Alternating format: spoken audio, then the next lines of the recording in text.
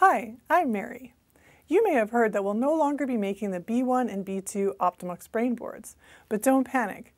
The E1 and E2 brain boards are drop-in replacements, and they give you more options moving forward.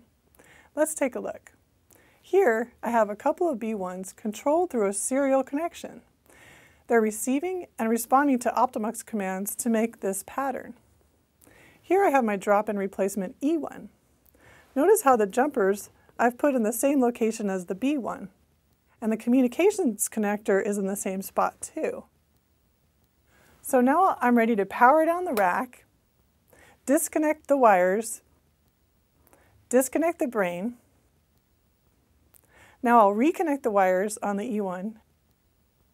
Careful to double check that the wires and jumpers are all in the same place. Now I'll just power it back up.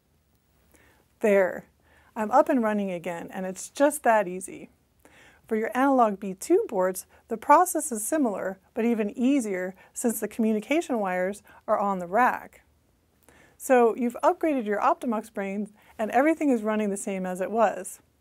Now you can consider other options with the new brains thanks to this Ethernet jack. Because your Optomux brain might be connected to a PC running a no longer supported version of Windows. And because you may want to connect your Optomux system to a SNAP PAC system or a Modbus, or maybe even use OPC. With the E1s and E2s, you can do this through the Ethernet connection. You can even use both Optomux over serial and Optomux over Ethernet, and use multiple protocols all at the same time. So you'll have lots of options.